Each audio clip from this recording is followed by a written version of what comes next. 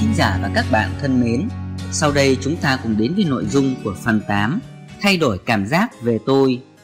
Nếu bạn nói tôi với tất cả những gì bạn nghĩ, cảm thấy, nói hoặc tưởng tượng Bạn không thể biến đổi đời sống tình cảm của mình. Hãy nhớ tất cả các loại suy nghĩ có thể xâm nhập vào tâm trí bạn.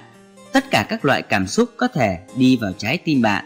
Nếu bạn nói tôi là với tất cả những suy nghĩ tiêu cực Bạn đang đồng nhất bản thân với chúng và bạn không thể tách rời nội tâm khỏi chúng. Bạn có thể từ chối gắn tôi với những cảm xúc và suy nghĩ tiêu cực. Bạn tránh những nơi lầy lội khi đi dọc đường. Tương tự như vậy, bạn phải tránh đi trên những con đường lầy lội của tâm trí bạn, nơi sợ hãi, oán giận, thù địch và ác ý ẩn nấp và di chuyển. Từ chối lắng nghe những nhận xét tiêu cực, đừng chạm vào những tâm trạng tiêu cực hoặc để chúng chạm vào bạn. Thực hành tách biệt nội tâm bằng cách có cảm giác mới về bản thân và về con người thật của bạn, bắt đầu nhận ra rằng tôi thực sự trong bạn là thần vô hạn, đấng vô hạn. Bắt đầu xác định bản thân với các phẩm chất và thuộc tính của đấng vô hạn này, thì toàn bộ cuộc sống của bạn sẽ được biến đổi.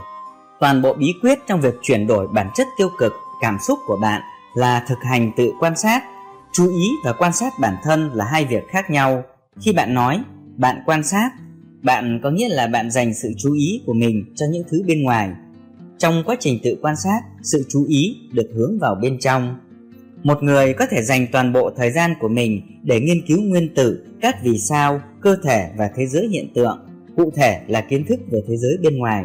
Kiến thức này không thể mang lại sự thay đổi nội tâm. Tự quan sát là phương tiện thay đổi nội tâm, sự thay đổi của trái tim. Bạn phải học cách phân biệt, nhận thức để tách vỏ trấu khỏi lúa mì bạn thực hành nghệ thuật quan sát bản thân khi bắt đầu tự hỏi mình. Ý tưởng này có đúng không? Nó sẽ ban phước chữa lành và truyền cảm hứng cho tôi. Nó sẽ mang lại cho tôi sự an tâm và đóng góp vào hạnh phúc của nhân loại. Bạn đang sống trong hai thế giới, bên ngoài và bên trong, nhưng cả hai đều là một. Một cái có thể nhìn thấy được và cái kia vô hình, tức là chủ quan và khách quan. Thế giới bên ngoài của bạn đi vào thông qua năm giác quan và được mọi người chia sẻ. Thế giới bên trong của bạn về suy nghĩ, cảm xúc, cảm giác, niềm tin và phản ứng là vô hình và thuộc về bạn. Hãy tự hỏi bản thân, tôi đang sống trong thế giới nào? Tôi đang sống trong thế giới được tiết lộ bởi năm giác quan hay trong thế giới nội tâm? Đó là trong thế giới bên trong, bạn sống mọi lúc. Đây là nơi bạn cảm nhận và rung động. Giả sử bạn được mời đến một bữa tiệc, tất cả những gì bạn thấy, nghe, nếm ngửi và chạm đều thuộc về thế giới bên ngoài. Tất cả những gì bạn nghĩ, cảm thấy, thích và không thích đều thuộc về thế giới bên trong. Bạn tham dự hai bữa tiệc được ghi lại khác nhau. Cụ thể là một bữa tiệc bên ngoài và một bữa tiệc bên trong. Nó nằm trong thế giới nội tâm của bạn về suy nghĩ, cảm giác và cảm xúc. Trong đó, bạn lên xuống, lắc lư qua lại. Để chuyển hóa bản thân, bạn phải bắt đầu thay đổi thế giới nội tâm thông qua việc thanh lọc cảm xúc và sắp xếp thứ tự chính xác của tâm trí thông qua suy nghĩ đúng đắn. Nếu bạn muốn trưởng thành về mặt tâm linh, bạn phải chuyển hóa chính mình. Chuyển đổi có nghĩa là sự thay đổi của một thứ thành một thứ khác. Có nhiều biến đổi của vật chất. Đường qua một quá trình trưng cất được biến đổi thành rượu. Radium từ từ biến đổi thành trì. Thực phẩm bạn ăn được biến đổi theo từng giai đoạn, thành tất cả các chất cần thiết cho sự tồn tại của cơ thể bạn. Trải nghiệm của bạn đến dưới dạng hiển thị phải được chuyển đổi tương tự. Giả sử, bạn nhìn thấy một người mà bạn yêu quý và ngưỡng mộ, bạn nhận được ấn tượng về anh ta. Giả sử mặt khác, bạn gặp một người mà bạn không thích, bạn cũng nhận được hiển thị tương ứng. Chồng hoặc con cái của bạn đang ngồi trên chiếc ghế dài khi bạn đọc điều này đối với bạn. Đó là điều mà bạn quan niệm là anh ấy hoặc cô ấy sẽ như thế nào. Nói cách khác, ấn tượng được tiếp nhận bởi tâm trí của bạn. Nếu bạn bị điếc, bạn sẽ không nghe thấy giọng nói của họ bạn có thể thay đổi ấn tượng của mình về mọi người. Để biến đổi ấn tượng của bạn là biến đổi chính bạn. Để thay đổi cuộc sống của bạn, hãy thay đổi phản ứng của bạn với cuộc sống. Bạn có thấy mình đang phản ứng theo những cách dập khuôn không? Nếu phản ứng của bạn là tiêu cực, đó là cuộc sống của bạn. Đừng bao giờ cho phép cuộc sống của bạn là một chuỗi phản ứng tiêu cực với những ấn tượng đến với bạn hàng ngày.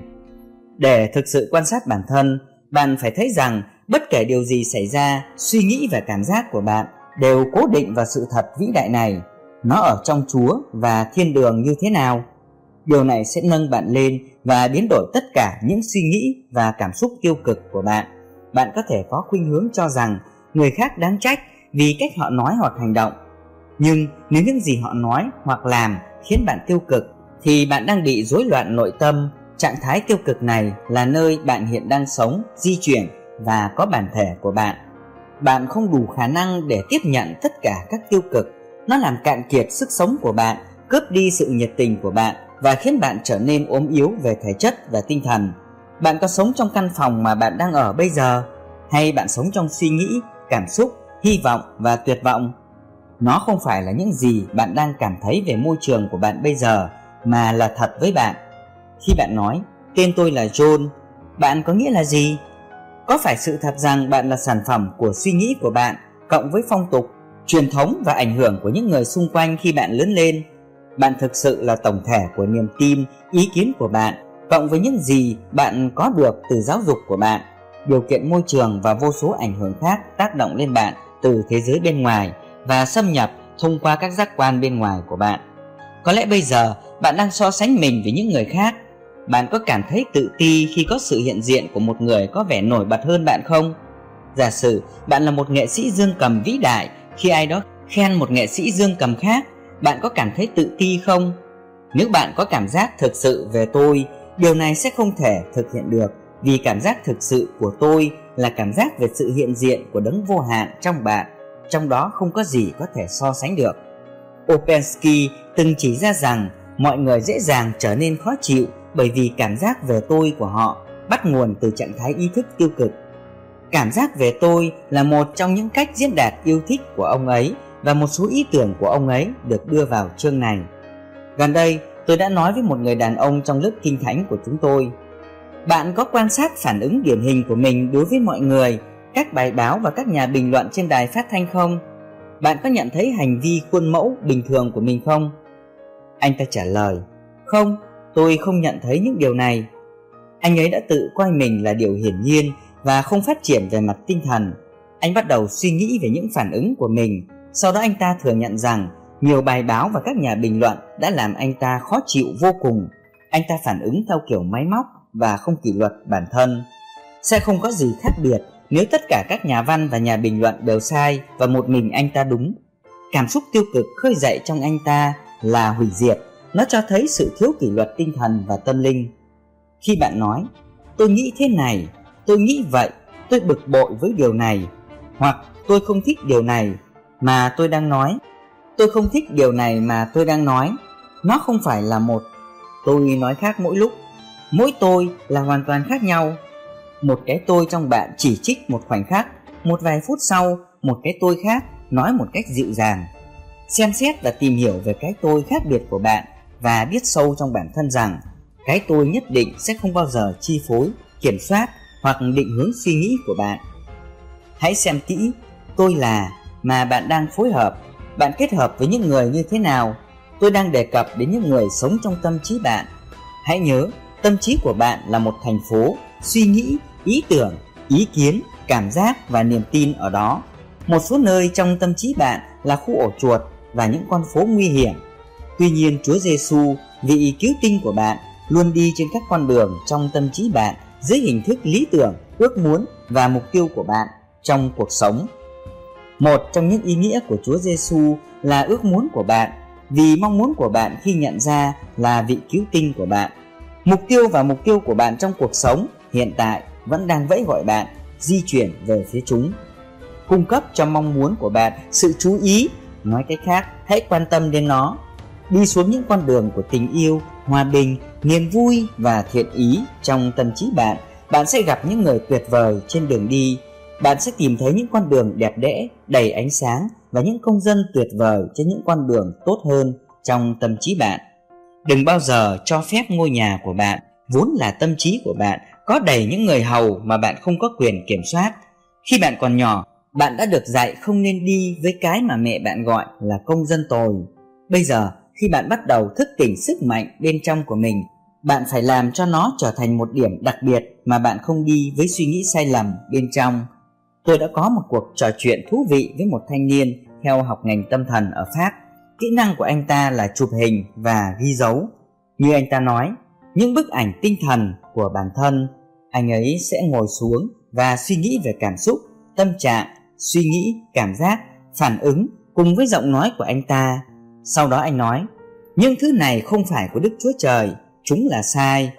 Tôi sẽ quay lại với Chúa và suy nghĩ từ tiêu chuẩn hoặc nền tảng của sự thật đó. Anh thực hành nghệ thuật phân tách nội tâm, anh ta sẽ dừng lại khi anh ta tức giận và nói, đây không phải là đấng vô hạn, không phải là tôi thực sự đang nói, suy nghĩ hoặc hành động. Nó là cái tôi giả tạo bên trong. Hãy trở về với Chúa như người thanh niên này. Mỗi khi bạn dễ nổi giận, chỉ trích, chán nản hoặc cáu kỉnh, hãy nghĩ đến Chúa và thiên đường và tự hỏi bản thân, Chúa và thiên đàng thế nào? Có câu trả lời để trở thành người đàn ông mới. Đây là cách bạn trở nên tái sinh về mặt tâm linh hoặc trải nghiệm điều được gọi là lần sinh thứ hai. Sự ra đời thứ hai là kỷ luật nội tại và hiểu biết về tâm linh. Thánh nhân và tội nhân ở trong tất cả chúng ta, kẻ sát nhân và thánh nhân cũng vậy, tương tự như vậy là thượng đế và tâm trí đại chúng. Về cơ bản, mỗi người đều muốn trở nên tốt, thể hiện điều tốt và làm điều tốt. Đây là tích cực trong bạn. Nếu bạn đã thực hiện những hành vi phá hoại, chẳng hạn như nếu bạn ăn cướp, lừa đảo và lừa gạt người khác và họ lên án bạn, coi thường bạn. Tuy nhiên, bạn có thể thoát khỏi khu ổ chuột của tâm trí mình để đến nơi đó, ý thức của chính bạn, nơi bạn không còn lên án bản thân, thì tất cả những người tố cáo bạn sẽ không làm phiền bạn. Khi bạn ngừng buộc tội mình, thế giới sẽ không còn buộc tội bạn nữa. Đây là sức mạnh của ý thức của chính bạn. Đó là Chúa bên trong. Thật là ngu xuẩn khi tự kết án mình, bạn không phải làm vậy. Thật là nhàn rỗi khi giữ suy nghĩ buộc tội mình. Giả sử bạn đã thực hiện các hành vi bất công, hành vi phạm tội hoặc các tội ác ghê tởm khác, không phải Đức Chúa Trời trong bạn đã làm những điều đó. Nó không phải là tôi thực sự hay đấng vô hạn, nó là bản ngã khác, thế giới tâm trí trong bạn. Tất nhiên, điều này sẽ không miễn trừ trách nhiệm cho bạn. Hơn nữa, nếu bạn nhúng tay vào lửa, bạn sẽ bị bỏng, hoặc vượt đèn đỏ, bạn sẽ bị vi phạm luật giao thông. Cái tôi khác đại diện cho nhiều suy nghĩ trong bạn, ví dụ như nhiều ý tưởng và niềm tin tiêu cực rằng có những sức mạnh bên ngoài ý thức của bạn. Niềm tin rằng người khác có thể làm tổn thương bạn, các yếu tố không thân thiện cộng với nỗi sợ hãi, mê tín dị đoan và sự thiếu hiểu biết của tất cả các loại. Cuối cùng, những định kiến, nỗi sợ hãi và sự căm ghét đã thúc đẩy bạn làm điều mà nếu không bạn sẽ không làm. Cách lý tưởng để thay đổi cảm giác về tôi là gắn với cái tôi thực sự bên trong bạn, mọi thứ cao quý, tuyệt vời và giống như Chúa. Bắt đầu khẳng định, tôi mạnh mẽ, tôi rạng rỡ, tôi hạnh phúc, tôi đã được truyền cảm hứng, tôi được chiếu sáng, tôi đang yêu, tôi tốt bụng, tôi là người hòa hợp, vân vân. Hãy cảm nhận những trạng thái này của tâm trí, khẳng định chúng và tin chúng. Sau đó, bạn sẽ bắt đầu thực sự sống trong khu vườn của Chúa. Bất cứ điều gì bạn gắn với tôi là và tin tưởng, bạn sẽ trở thành. Tôi trong bạn là Chúa và không có ai khác. Tôi là hay cuộc sống, nhận thức, bản thể thuần khiết, sự tồn tại hay con người thật của bạn là Thượng Đế. Đó là nguyên nhân duy nhất. Nó là sức mạnh duy nhất tạo ra bất cứ thứ gì trên thế giới. Hãy tôn vinh nó, sống với cảm giác tôi là đấng tối cao suốt cả ngày. Đấng tối cao có nghĩa là đấng được sức giàu thơm, tỉnh thức, được soi sáng. Bạn cảm thấy tiếp tục sống trong bầu không khí tinh thần đó, sau đó bạn sẽ rút ra trí tuệ, quyền năng và sự thông minh của Đức Chúa Trời bên trong bạn và toàn bộ thế giới của bạn sẽ được biến đổi bởi ánh sáng nội tâm chiếu sáng trong tâm trí. Mỗi khi bạn cảm thấy tôi là đấng tốt lành, tôi được chiếu sáng, tôi đã được truyền cảm hứng, vân vân, bạn đang cầu nguyện và hòa hợp ý thức của bạn với điều bạn đang cầu nguyện cũng như cùng với những suy nghĩ bạn đang nghĩ. Khi bạn tiếp tục thay đổi cảm giác về tôi như đã trình bày ở trên, bạn sẽ hiển thị các tầng trời trong tâm trí mình với các tính cách vĩnh hằng của Đức Chúa Trời. Đừng sợ vì ta ở cùng ngươi và qua các dòng nước, chúng sẽ không tràn qua ngươi. Khi ngươi đi qua lửa, ngươi sẽ không bị thiêu cháy. Trích từ Kinh Thánh Đó là ai? Đó là của riêng bạn.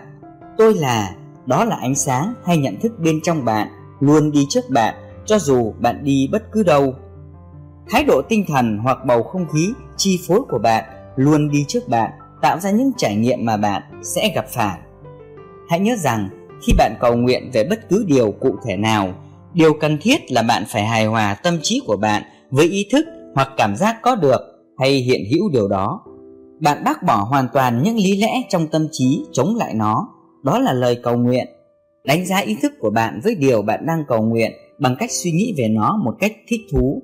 Làm điều này một cách lặng lẽ và thường xuyên cho đến khi bạn đạt được niềm tin trong ý thức. Khi bạn làm điều này, vấn đề sẽ không còn làm phiền bạn nữa bạn sẽ duy trì được tinh thần đĩnh đạc cộng với cảm giác.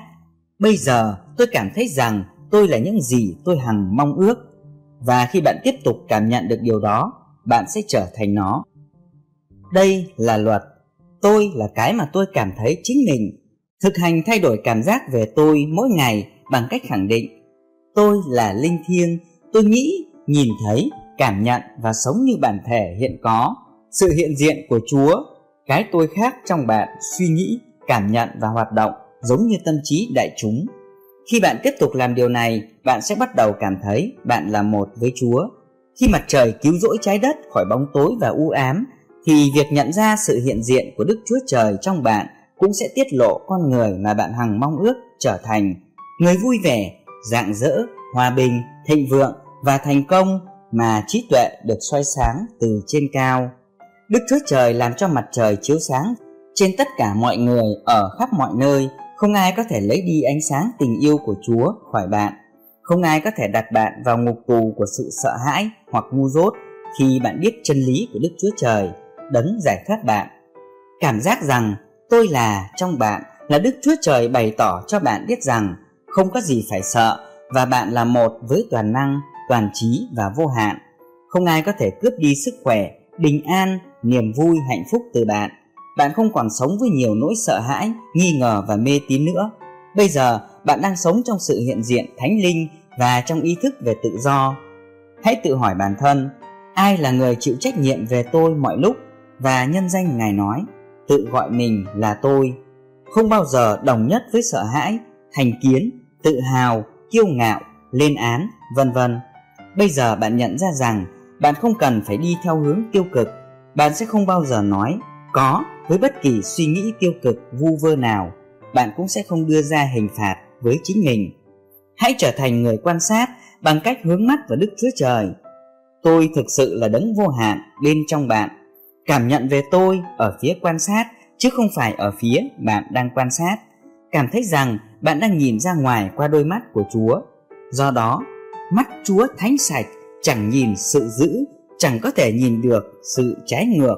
Sao ngài nhìn xem kẻ làm sự dối trá khi kẻ giữ nuốt người công bình hơn nó? Sao ngài nín lặng đi? Sách Habakkuk chương 1 mục 13 Quý thính giả và các bạn thân mến, vừa rồi chúng ta đã nghe qua nội dung của phần 8 Thay đổi cảm giác về tôi. Và nội dung của chương 8 cũng khép lại nội dung toàn bộ cuốn sách. Phép màu của niềm tin của tiến sĩ Joseph Murphy.